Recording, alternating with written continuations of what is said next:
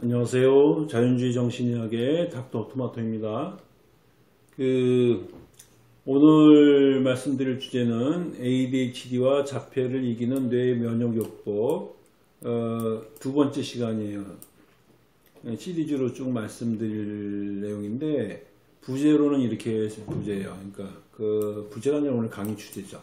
어린이 두뇌 발달을 위한 출발점 마이너스 영양학 이제 포인트는 마이너스 영향학에 있다는 거고요. 출발점이라는 데 있어요.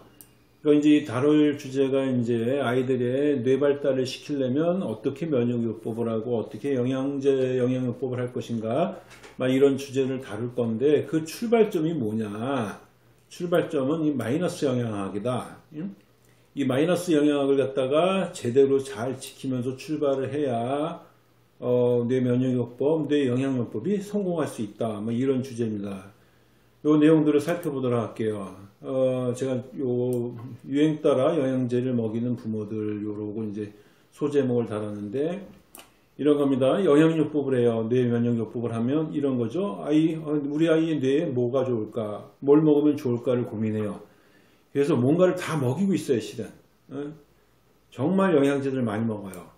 자폐 아동들 중에 가장 많이 먹는 게 이제 브로콜리 새싹 추출물에서라고 해서 썰포라판을 갖다가 이제 거기다 먹고 있더라고요. 이게 어떻게 유행을 하고 있는지 모르지만 이제 ADHD 같은 경우는 오메가3가 도움이 된다는 이야기가 돌아서 그런지 DHA 성분들을 갖다 또 많이 먹고 있고 프로바이오틱스 유산균은 아주 기본으로 다 먹고 있어요. 이게 이제 그 가장 기본적으로 먹고 있는데 이게 이제 유행 따라 어떤 게 좋다 그러면 와 몰려가서 먹고 저게 좋다 그러면 와 몰려가서 먹는 거죠. 예? 결국은 그 전문가의 도움 없이 부모님들이 영양요법을 실제 하고 있는 거예요. 어떤 그런 걸 뭘 먹어서 아이들의 뇌를 좋게 하고자 하는 욕망이 있는 거죠. 이제 문제는 이런 게 이제 유행 따라서 영양제만 먹는 거예요. 되는데 이게 생각해 보면 되게 황당한 거예요. 이 DHA를 먹는다라는 것은 뭐냐면 오메가3 성분들을 먹이는 거거든요. 그럼 일상에서 오메가3하고 오메가6 비율이 얼마나 그 제대로 이루어지는가가 되게 중요해요. 근데 이 오메가6는 어디에 맞냐? 이게 이 사료, 곡물이, 곡물 사료를 먹고 잘 키운 소고기, 소나 닭, 돼지 이런 데 되게 많아요. 달걀도 그냥 사료 먹고 자란 계란이 난, 아, 닭이 난 계란은 오메가6가 되게 많다고 그러거든요. 그러니까 DHA를 먹어봤자 애한테 계속 그, 그, 이, 뭐야, 인공 사료를 먹은 소고기, 돼지고기, 닭고기, 뭐 계란 이런 게 장시간 노출된다? DHA를 먹는 게 큰 의미가 없는 거예요. 이런 걸 제거해야 되지 의미가 있는 거지. 자, 썰포라판 먹이는 거 이거 아마도 효과를 내는 것들은 항산화 작용이 이런 효과를 항산화 작용이 효과를 내는 거라고 의미 이해를 하고 있어요. 추정하고 있죠. 이제 이런 거 썰포라판을 먹이면 뭐 하겠어요? 그러면서 밀가루나 유제품을 계속 먹이는 거예요. 이런 것들이 뇌에 광범한 염증들을 갖다 유발하고 신체 전체적으로 그 산화작용을 갖다가 만드는 걸로 추정하고 있어요. 그러면 썰포라판이 한 일부 먹는 거 가지고는 감당이 안 될 정도의 염증들을 갖다 전체적으로 진행시키고 있는 거거든요. 자, 유산균을 먹어요? 뭐 유산균을 갖다 먹이는 거 좋을 수 있어요. 근데 봐요. 항생제에 만성적으로 노출시키고 있어요. 여러분이 항생제를 갖다 먹는 거는 이게 뭐냐? 어, 여러분들의 균을 갖다가 뭐 감기 되면 그 균만 죽인 게 아니라 장 안에 있는 유해 세균들도 말은 유익 세균을 갖다 광범하게 어, 죽이는 걸로 알려져 있어요. 그러니까 유산균 먹어봤자 항생제를 먹인다? 유익균 다 죽어버린다고. 여러분이 먹은 유산균 자체도 다 그냥 날아가고 있는 거라고요. 자, 이렇게 엄청난 병덩어리를 갖다 먹어대면서 영양제 일부를 조금 먹는다? 이거 가지고는 답이 안 나온다는 거예요. 그래서 이게 결론이 이거예요. 영양제를 먹이는 부모님들이 꼭 알아야 될 사실. 약이 음식을 이기지 못한다요. 약이. 영양제도 음식을 이기지 못해요.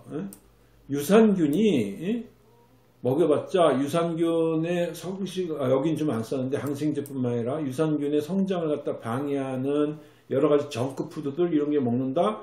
이런 거 먹어봤자요. 썰퍼럽판 먹어봤자 밀가루 유제품 먹은다? 이것도 먹어봤자라고. DHA도 마찬가지고. 응? 여러분들이 아이들이 먹는 음식이 음식이 실은 약을 이깁니다. 훨씬 더 강력해요. 훨씬 더 강력해요. 이거는 제 이제 한의사다 보니까 이런 걸 아주 절실하게 느껴요. 음? 약과 음식이 동원, 근본이 동일하다라고 이제 저희들은 배우고 있고, 음? 약보다 음식이 어, 훨씬 더 치료 효과가 좋다라고 이제 배우거든요. 근데 이제 이건 현대의학에서도 이 뇌 면역 영양법부터 적용이 되는 거예요. 유행 따라 영양제를 먹인다고 여러분들의 아이는 좋아지지 않습니다. 그 영양제를 먹기 전에 영양제가 노리고나 하는 효과를 방해하는 음식을 제거하는 것. 이게 마이너스 영양학의 핵심이에요. 마이너스 영양학의 핵심. 자, 플러스 영양학과 마이너스 영양학을 이해하세요. 여러분들은 지금 플러스 영양학에 생각이 잠겨 있어요. 그 습관화되어 있어요. 왜 그러냐면 과거의 질병은 영양 부족이 병이 되는 시대였어요. 어? 못 먹어서 병이 되던 시대거든. 그러니까 주제가 뭐냐? 뭘 먹어서 보충할 것인가 주제되는 시대예요. 어? 그래서 주로 영양을 뭘로 보충할 건가? 영양제를 먹어라. 약도 한약도 맨날 보약 이런 개념이었거든. 근데 영양 부족이 되던 시대가 몇 년 안 됐어요. 우리가 여기서부터 벗어난 지. 한국 같은 경우도 1960년대까지만 해도 거의 이렇다고 봐야 되고 심지어 70년대까지도 그렇다고요. 예? 근데 현대사회 산업화에 성공하고 경제발전에 성공한 나라에서는 영양 부족이 이제 끝이 나고 영양 과잉이 병이 되는 시대가 되고 있어요. 예? 비만이 늘고 있죠. 키가 크고 있죠. 영양이 과잉이 되고 있는 시대로 되고 있단 말이에요. 예? 그러니까 뭐가 등장하냐? 단식과 다이어트가 등장하고 있다고요. 예? 살 빼기가 난리라고. 이때 되면 뭐가 되냐면 무엇을 먹을 것인가가 주제가 아니라 무엇을 안 먹을 것인가가 주제가 되고 있어요. 점점 점점 시대가. 이렇게 사회가 변한 지 몇십 년 안 돼요. 예? 이러면서 뭐가 됐냐면 뭔가가 과잉하면 독이다라는 인식이 이제 늘고 있죠. 그리고 해독이 등장하고 다이어트와 해독이 등장하고 그것이 영양을 갖다 과잉을 해소하는 방법이고로 주요 키워드로 등장하고 있는 시대가 지금 시대예요. 즉 영양 과잉 시대라고 영양 과잉 시대. 예? 그리고 영양 과잉 시대에는 무엇을 더 먹을 것인가가 아니라 무엇을 더 빼낼 것인가 마이너스 영양학이 주제가 되고 그래야만 건강이 회복되는 시대예요. 이렇게 영양학에 대해서 이제 인식 전환이 돼야 될 되게 시점인데 현대의학은 인식의 한계가 있고 대책도 부재예요. 아, 현대의학은 사실 영양학에 대해서 제일 배우지도 않아요. 플러스 영양학도 제대로 배우지 않거든요. 근데 마이너스 영양학에 대해서는 더더욱 모르죠. 그냥 약만 주면 된다라는 식으로 배우는 게 이제 현대의학이다 보니까 영양학에 대해서는 극단적 한계가 있어요. 그래서 특히나 이제 의사들도 그러다 보니까 일반인들의 인식은 굉장히 태, 어, 턱없이 부족하죠. 사람들 태반이 여전히 플러스 영양학에 빠져 있는 거예요. 자, 여러분, 시대는 마이너스 영향학이 필요한 시대로 바뀐 거예요. 근데 여러분들의 마인드도 이제 마이너스 영향학적 방식으로 바뀌어야 됩니다. 무엇을 먹을 건가를 고민하기 이전에 무엇을 먹지 말아야만 하는가 이 고민을 해야 돼요. 음? 자, 자폐, ADHD, 그 다음에 분노장애, 뭐 적대적 반항장애, 마찬가지예요. 우울장애 다. 어? 어떠한 걸 먹지 말아야 아이의 어, brain이 두뇌 발달이 제대로 이루어질 것인지를 갖다가 고민해야 됩니다. 그게 출발의 문제제기라는 게 마이너스 영양학이에요. 오늘 지금 마이너스 영양학에 대해서 키워드 세 가지를 알려드릴 거예요. 첫 번째 키워드 해독. 해독, 해독, 해독, 해독. 해독이 뭐냐면 잘 싸자, 잘 빼자예요. 지금 해독이라는 것은 뭐냐면 배설을 의미해요. 내 몸에 있는 독성분들을 갖다가 밖으로 잘 빼내자. 밖으로 빼내는 게 해독이에요. 배설. 빼내는 배설 방법은 인간이 세 가지가 있습니다. 가장 여러분이 쉽게 하는 게 대변이죠. 대변은 대장에서 소화돼 갖고 흡수되고 몸에서 영양으로 사용하지 못하는 독성분들이 밖으로 빠져나오는 거예요. 예? 빠져나오고 그 안에 장의 세, 어, 장내 세균들이 대사작용을 갖다 어떻게 하는지 그 결과물까지 반영돼서 나오는 겁니다. 예? 이 대변은 엄청나게 많은 장세균들이 덩어리가 같이 나오고 있는 거예요. 예? 그러니까 어찌 보면 진짜 독덩어리가 나오고 있는 거예요. 그 다음에 소변이죠. 예? 혈액 내의 이물질들을 갖다가 빼내서 소변으로 빠져나가고 있는 거예요. 그러니까 어찌 보면 혈액의 진짜 상태가 반영이 돼 나오고 있는 것도 소변이에요. 음. 장애 상태가 반영되는 게 대변이라면. 자, 중요한 것도 땀으로도 나갑니다. 땀으로. 땀으로는 몸 전체, 대장이나 혈액 이외에 몸 전체 근육이나 피부 정도 전신적으로 있는 그 이물 상태가 땀으로 배출이 되고 있어요. 그래서 여러분이 땀을 흘리는 것뿐만 아니라 불감 증발이라고 해갖고 인간들이 느끼지 못한 채 피부는 계속적으로 땀을 갖다 날리고 있어요. 하나님 쉬지 않고 배설을 하고 있다고 봐요. 가장 많은 배설량이 땀으로 나갈 수도 있어요. 소변보다도. 이 세 가지로 대변, 소변, 땀이 인간의 몸에 쌓여져 있는 독성분, 유독성 성분들이 배출이 되는 거예요. 예? 배설되는 거죠. 이게 해독 과정이에요. 이게 마이너스 영양학적 입장에서 보면 아, 땀 대변이 나간다, 소변이 나간다, 땀이 나간다가 아, 독이 빠져나가는구나. 마이너스 돼서 나가는구나. 예? 예? 유해 성분들이 이렇게 이해하시면 됩니다. 그러므로 인해서 이 마이너스 영양학적인 고민을 한다면 아 이게 제대로 잘 빠져나가고 있는지 제대로 잘 싸고 있는지 땀이 잘 빠지고 있는지를 갖다 보셔야 돼요. 예. 이게 마이너스 영역에서 굉장히 중요한 키워드예요. 대변은 계속 관찰을 하셔야 됩니다. 여러분 특히나 아이를 치료하시는 분들은 대변을 끊임없이 관찰해야 돼요. 병적인 대변 상태를 넘어 좋은 변 상태를 유지해야 됩니다. 이 대변이 어떠냐 저냐를 갖다 일반 지금 주류의학에서는 별로 관심이 없어요. 막말로 얘기해서 심각한 변비만 아니면 응? 별 관심이 없어요. 응? 아니 이 근데 이 그 면역 의학을 하고 영양력 의학을 하려면 이건 굉장히 중요해요. 대변이 병적인 대변 상태를 갖고서 좋은 변 상태를 유지해야 돼요. 그럼 아 이게 제대로 잘 독성분이 나가고 있는 거예요. 자 대변에서 냄새가 나는 변이 있다. 이거 알 수 없게 대변에서 독, 그장 안에서 독성분이 만들어지고 있고 이게 빠져나오고 있는 거예요. 예. 자 변비가 있다. 배독 자체가 안 되고 있는 거예요. 이 독성 성분들이. 설사가 난다. 그 장 안에서 유해 세균들이 이상 발효가 되면서 그 대변들이 밀려 나오고 있는 거예요. 이것도 결국 그 몸안이 깨끗이 못하다는 것들을 갖다 의미해요. 대변은 황금색 변이 바나나 같이 길게 아주 이쁘게 나와야 돼요. 색깔이 지나치게 갈색이라든지 지나치게 초록색이라든지 이런 문제가 있는 거예요. 대변이 모양을 유지하지 못하고 퍼지고 이러는 것도 문제가 있는 거예요. 대변이 너무 뭉쳐서 염소똥같이 똥똥똥똥 떨어져 나오는 변도 문제가 있는 거예요. 냄새부터 모양, 색깔까지. 자, 이런 것들, 이 정상적인 변 있죠? 바나나 똥이어야 돼요. 노래해야 돼요. 길게 나야 돼요. 냄새가 별로 없어야 돼요. 특히나 애들 되면은 냄새가 별로 없어야 돼요. 이런 상태가 만들어지고 유지하는 게 되게 중요합니다. 이런 걸 유지하지 못한다. 뭔가 마이너스 영양학 상태를 갖다 가야 될 몸 안에 독성분이 쌓이고 있는 거예요. 자, 피부 윤기 나야 돼요. 건조하지 않아야 돼요. 깨끗한 피부를 유지해야 돼요. 예? 보기 좋은 피부가 건강에 좋은 거예요. 예? 피부 상태를 갖다 확인해야 되는데 이 피부로 보면 뭘 할 수 있냐면 이 땀이 계속 배출이 계속 깨끗하게 되고 있으면 피부는 이렇게 윤기 나고 건조한 상태를 유지할 수 있게 돼요. 자, 아토피 피부가 있다, 두드러기가 난다, 습진이 있다, 건조한 피부가 있다. 피부가 겉봤을 때 어둡고 칙칙한 피부 상태다. 이거 뭐냐면 피부를 통해서 이물질들이 배출이 되는데 쌓이, 충분히 다 배출되고 있지 못한 독성분이 쌓여져 있는 거예요. 이 상태도 결국은 해독이 안 되고 있는 거예요. 몸 안에 독이 쌓이고 있는 거죠. 소변, 소변은 사실 알기가 관찰하기가 되게 어려워요. 그래서 간단하게 넘어갈 거예요.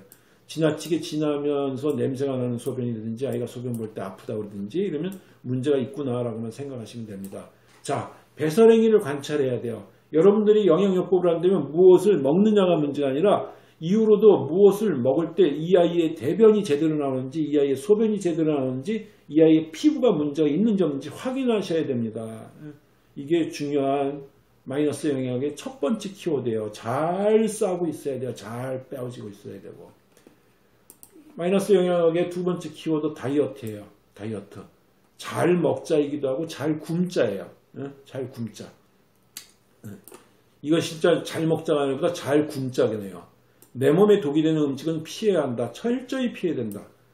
이것도 여러분들이 마이너스 영역을 하게 되면 좀 생각이 바뀌어야 돼요.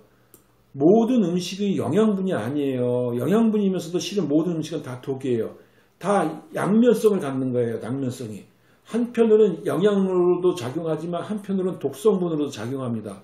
그래서 실은 모든 음식은 모두 영양분이면서 모든 음식은 다 독성분이에요. 독성분이에요. 음. 이게 이유식 얘기가 길어지는데 음, 이유식 할 때 되면 부모들이 이런 문제들을 많이 봐요. 부모 눈에는 다 이게 이유식 할 때 되면 어 너무너무 몸에 좋아하는 영양분 플러스 영양분 상태만 생각하거든요. 그러니까 이유식을 빨리 하려고 그러고 조급하게 하려고 그러고 더 많이 하려고 그래요. 그때 아이가 피부가 뭐가 발진이라든지 우툴두툴했든지 대변이 안 좋은지 이런 거 살펴보지도 않고 막 먹여요. 근데 아이 입장에서는요 이게 뭐냐면 독이에요. 엄청난 독이에요.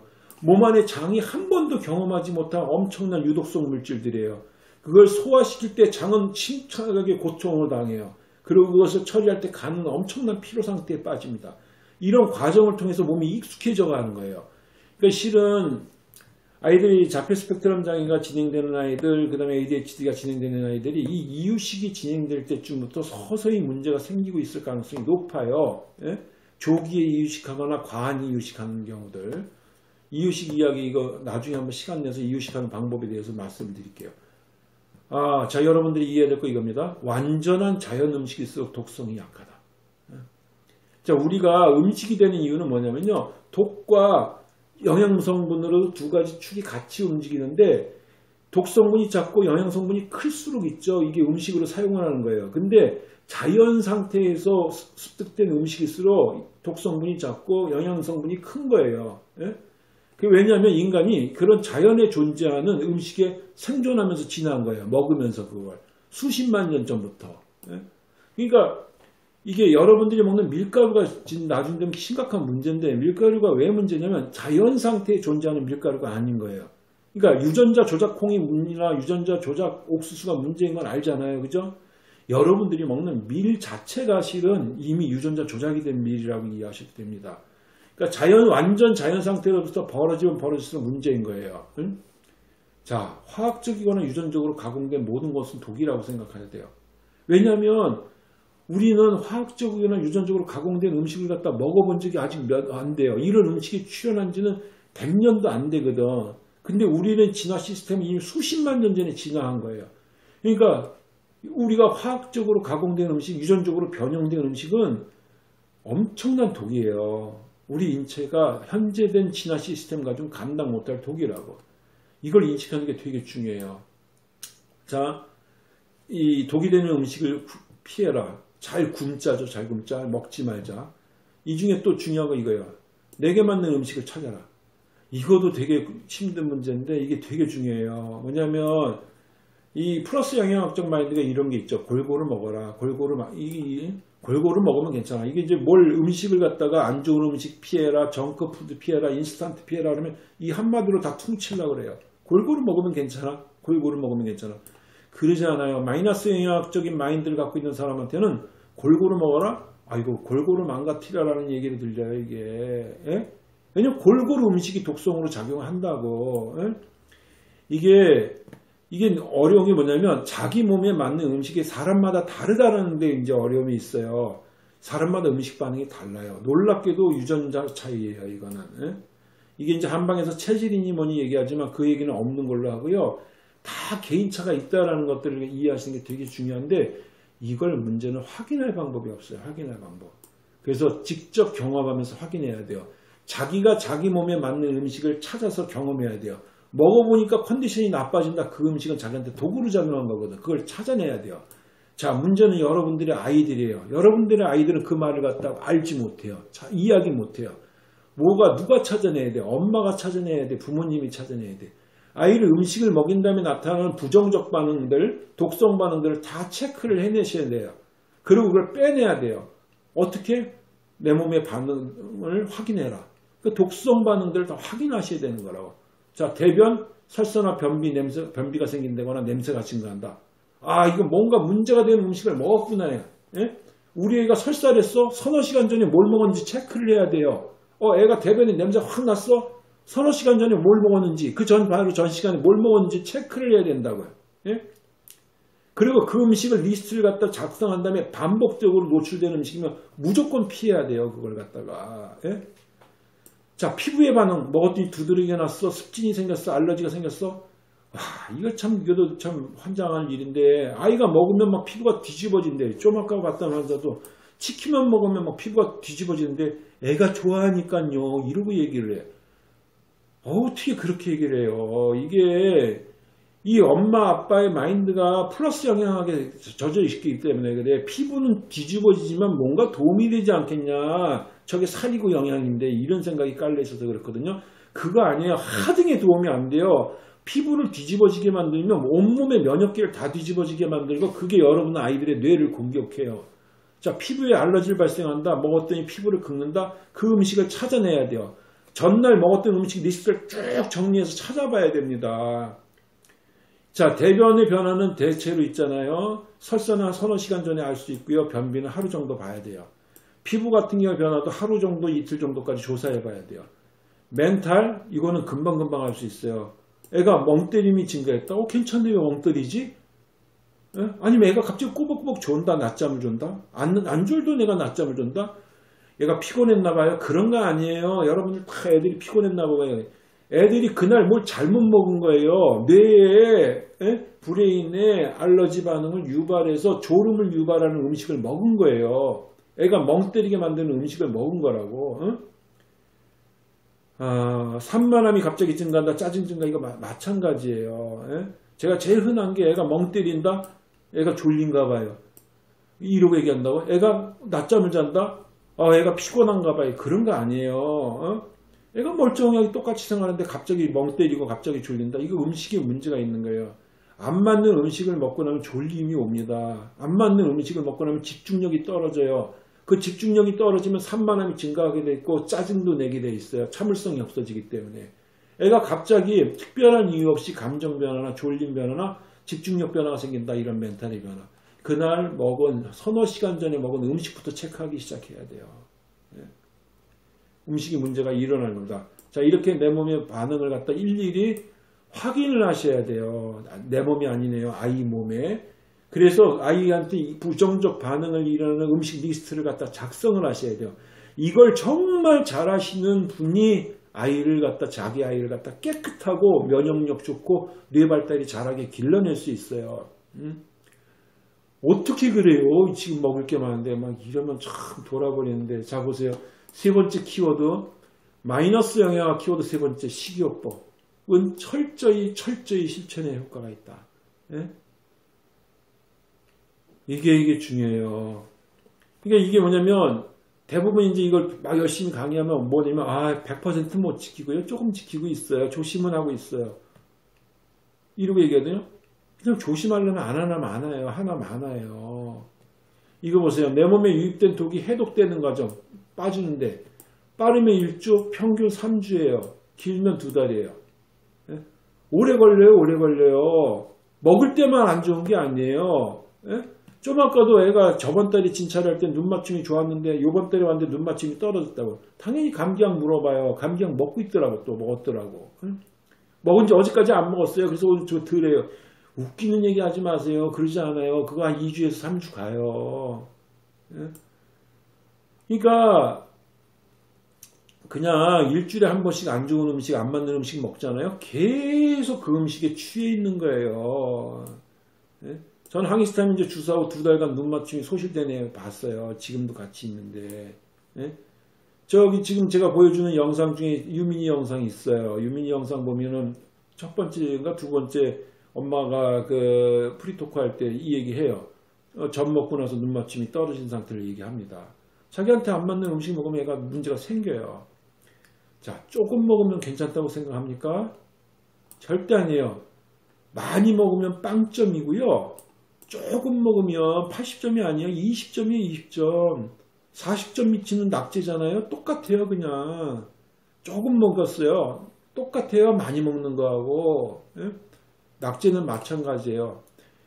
어, 예를 들면 밀가루가 얘한테 안 맞다. 절대 금식을 해도 100점이 아니라 80점밖에 안 나요. 이, 이런 다이어트에서 문제점이. 예? 80점이에요. 왜 그러냐면요. 개인별로 문제가 되는 음식 리스트가 지금 다 다르고 그것까지 다 찾아내야 100점까지 돼요. 이미 안 것만 지키는 거 가지고도 80, 100점이 안 나와요. 80점이요. 나머지까지 다 찾아내야 100점까지 된다고. 여러분들이 문제가 된다라고 아는 거는 철저하게 금지해야 80점이에요. 80점. 조금씩 먹는 거 의미 없어요. 차라리 안 하는 거나 비슷해요. 예? 그냥 엄마 마음 편한 거지 얘한테 큰 도움 되지도 않아요.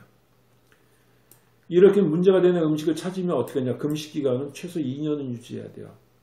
음식물 알러지는 바뀌어요. 없어져요. 안정화되면 바뀝니다. 먹어도 문제가 다시 안 생길 수 있게 돼요. 그런데 그 기간은 상당히 길어요. 예? 깁니다. 일반적으로 기능의학 하는 선생님들이 3개월에서 6개월 정도 금식한 다음에 다시 먹으라고 얘기해요. 예, 그럼 괜찮다고. 네, 그런데요, 그거는 건강한 애들 상대예요. 예? 그냥 피부에 두드러기나 조금 나는 이 정도라면 저도 3, 6개월 정도 안 먹고 또 먹어봐요. 이렇게 얘기해요. 근데 여러분들의 아이 자폐를 치료하고 싶은 아이들이에요. 여러분 아이들을 중증 ADHD를 치료하고 싶은 아이들이에요. 예? 여러분들의 아이들 학습장애가 있는 아이들을 치료하고 싶은 애들이에요. 우리가 고치려고 지금 의논하는 이 영양요법은 면역, 뇌 면역요법이에요. 뇌를 살리려고 하는 식이요법이거든요. 그럼 6개월 먹고 실험해 보는 거야. 피부, 피부에 한번 뒤집어지면 또 그렇지. 여기 뒤갖고 뇌가 또 한번 뒤집어져? 아니잖아요. 그죠? 철저하게 아주 안정권으로 간 다음에 안 먹어야 돼요. 한 2년은 유지해야 됩니다.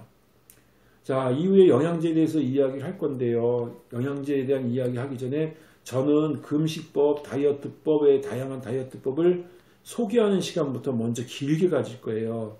왜냐하면 그게 훨씬 더 훨씬 더 중요하기 때문에 여러분 생각을 바꾸세요. 도, 응? 쓰레기 같은 음식 먹으면서 썰퍼라판 먹어봤자 큰 의미 없어요. 에? 쓰레기 같은 음식 먹으면서 오메가3 먹여봤자 큰 의미 없어요. 그래서 제가 뭘 먹으면 좋아요 물어볼 때 대답을 잘 안 해요. 에? 왜냐하면 이 이야기부터 해야 되거든. 마이너스 영향 얘기부터 해야 되는데 이러려면 이 사고방식이 다 바뀌어야 되거든. 이거 어려운 문제라서 제가 잘 이야기를 안 합니다. 오늘 강의 이걸로 마칠게요.